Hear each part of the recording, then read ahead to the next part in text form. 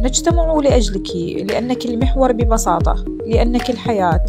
صحتك ليست صحة فرد بل هي صمام أمان للعائلة. بهذه الكلمات افتتحت كلية الصيدلة ندوتها العلمية التوعوية التطوعية حول سرطان الثدي وكيفية الوقاية منه والكشف المبكر عنه.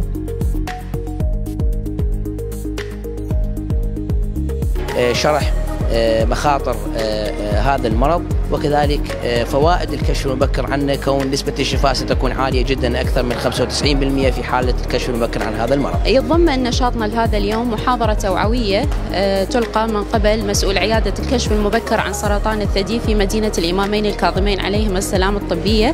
وبعد ذلك معرض فني يتضمن أعمال طلبتنا بإشراف أساتذتهم.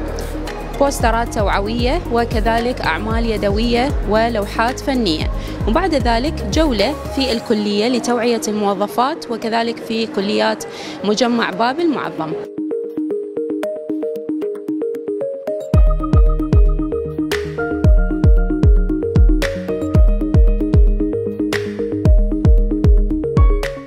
الطلاب سووا يعني بوسترات ويعني وسووا ندوة يحتلون عن أهمية التوعية إنه بالكشف المبكر وإنه الفحص كل ما لقيتي أعراض أو شيء لا أو أي آثار شيء فلازم الواحد إنه يروح يفحص. هذا المعرض كله وكل اللي يسوي الفعالية اللي مسويها اليوم هو تخص شهر التوعية بمرض سرطان الثدي وأيضا الفحص المبكر. بالإضافة إلى ندوة طبعا بوجود دكاترة من الحضور وأيضا من التدريسيين ودكاتره الفحص.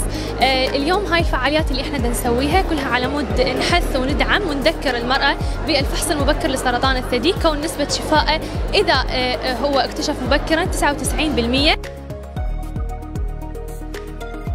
تضمنت الندوة حضور اللجنة الساندة للعمل التطوعي لطلاب كلية الصيدلة إذ قدمت طلبة معرضا فنيا خاصا بالطلبة المبدعين. كذلك أقام الطلاب بزارا من أجل التبرع بعائداته إلى معالجة مرضى سرطان الثدي.